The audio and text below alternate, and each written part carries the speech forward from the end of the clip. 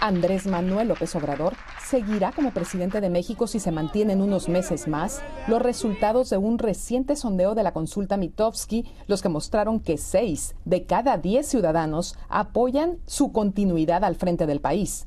De acuerdo a las conclusiones de la casa encuestadora, luego de preguntarle a 42.907 mexicanos mayores de 18 años si quisieran que el mandatario siguiera en el poder, un 64.5% dijo que sí y un 34.6% contestó que no.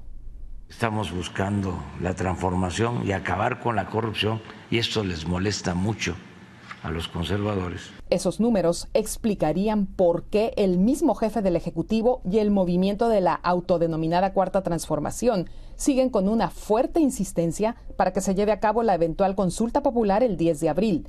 La pregunta que planteó la investigación en todos los estados del país fue si el día de hoy hubiera un referéndum para saber si debe continuar Andrés Manuel López Obrador como presidente de México, ¿usted qué elegiría?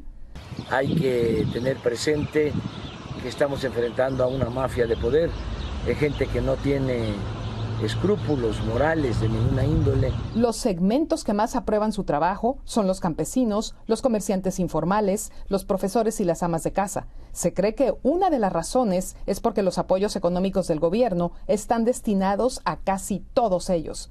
Pero el estudio también reveló que los sectores que descalifican la gestión del presidente y no le brindan su respaldo son los empresariales, los de profesionistas, los desempleados y también los funcionarios públicos.